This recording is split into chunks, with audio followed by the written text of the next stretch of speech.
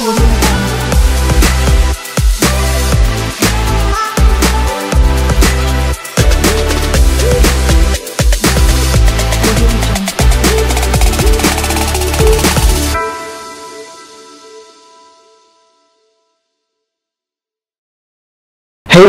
welcome back with a new lecture with ISO IEC 17025 2017 edition and management system requirements. Under management system requirements, we have two options, option A and option B that will be explained in the next lectures inshallah.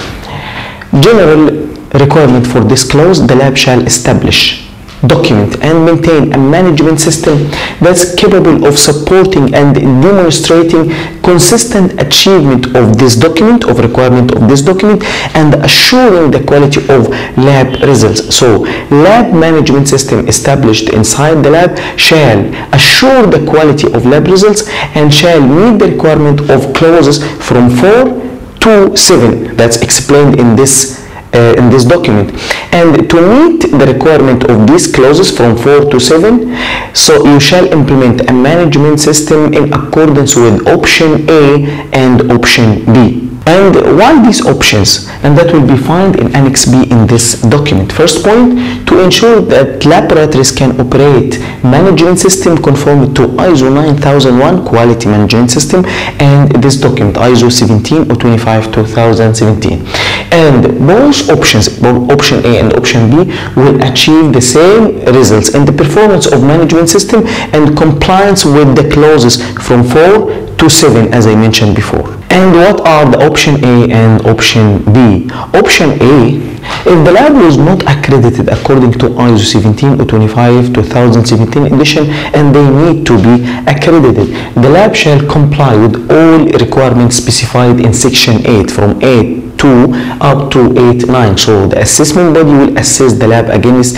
requirement as listed in ISO 17 or 25 2017 edition from 8 2 up to 8 9 and also other clauses from 4 to 7 but if the lab was accredited according to ISO 9001 2015 edition and they need to be accredited according to 17 or 25 2017 edition, they shall follow option B. Option B, the lab that establish a management system in accordance of the requirement of ISO 9001 2015 edition and can fulfill the requirement of clauses from 4 to 7 and 8 2 up to 8 9 they will follow option B. And what are the changes in this clause?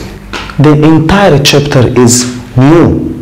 And now it's more simpler than before because in, as an option B, laboratories accredited according to ISO 9001 2015 edition they already have many documents related to this ISO and they don't need to have a separate document for ISO 17 or 25 but only documents which are not there in 9001 will be prepared especially documents related from related to clauses from 4 to 7 and if there is any document in 9001 prepared already.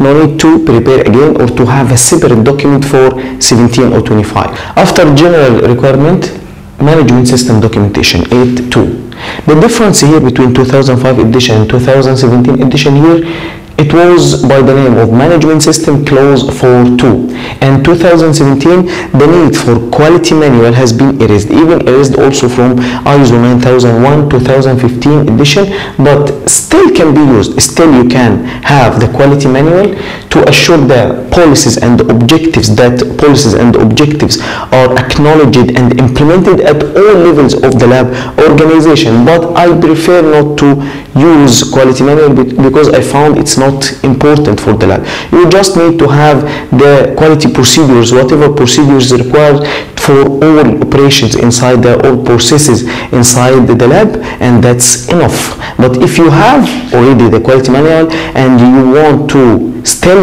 use this quality manual there is no problem from that. And the following requirements are no longer applicable or available in 2017 edition.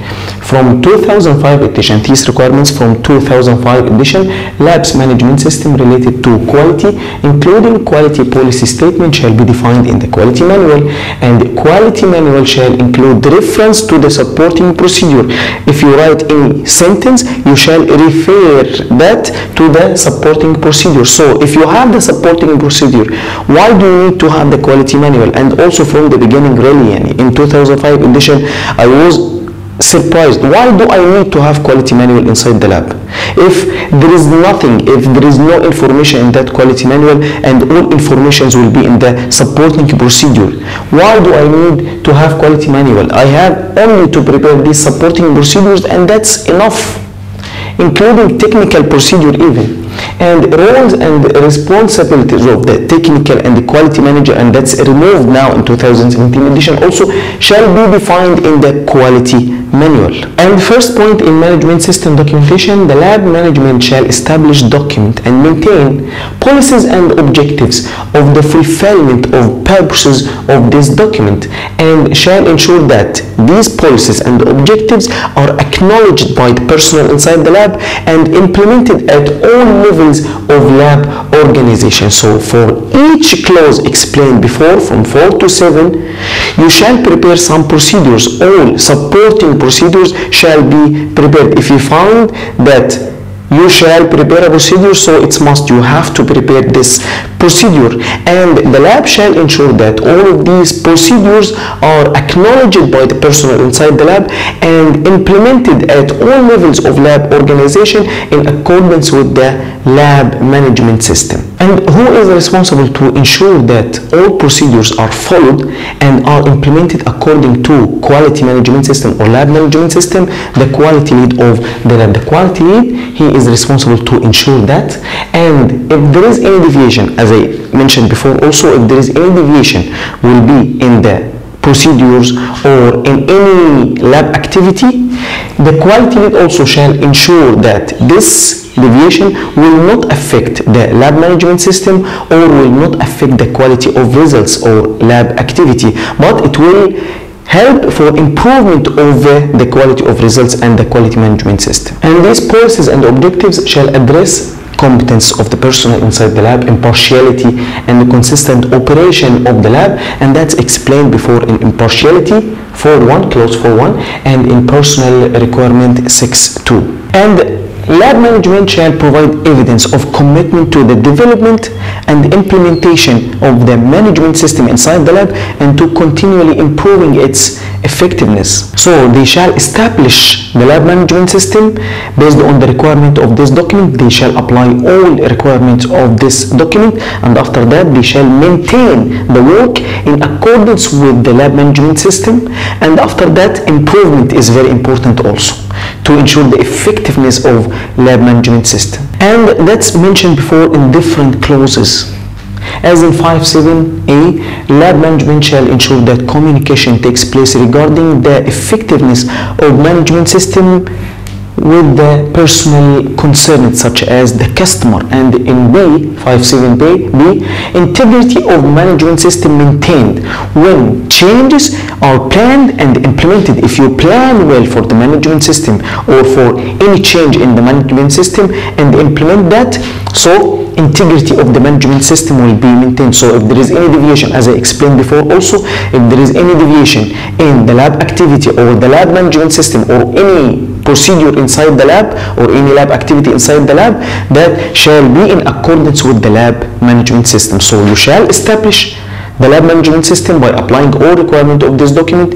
You shall maintain after that the work in accordance with the lab management system and you shall develop or improve improve in the lab management system. And if there is any change in that system shall be planned and implemented. And that was related to the communication with the customer and personnel in personnel also you will find that ensure providing suitable training for the personnel before authorization and communication inside the lab. There should be or the lab management shall ensure that there is a communication between management technical operation and support services and that also to ensure the effectiveness of the management system. And finally improvement in the management system. If you want to make improvement in the lab management system after that that will be mainly based on the internal audits management reviews also assessment external audits and communication with the customer if there is any complaint from the customer.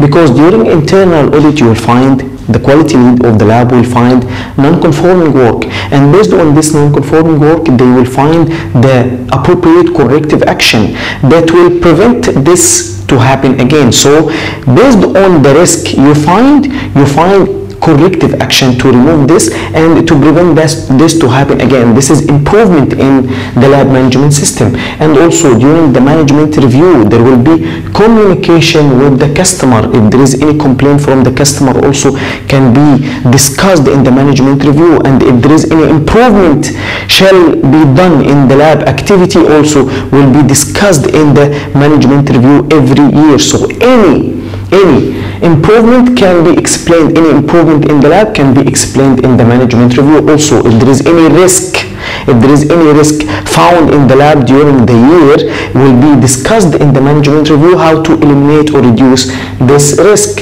And also during the assessment or external audit from the accreditation bodies also if they found non-conforming work you will find corrective action to remove this risk. So the lab shall establish management system by applying all requirements of this document and maintain the work in accordance with the lab management system and after that find a way to improve in this management system. And all documentations inside the lab processes systems records related to the fulfillment of the requirement of this document shall be included in referenced form or linked to the management system. All documentation inside the lab processes procedures uh, forms records everything shall be included in that management system or referenced from the management system. And that's also like before in the quality manual some all supporting procedures shall be referenced from the quality manual.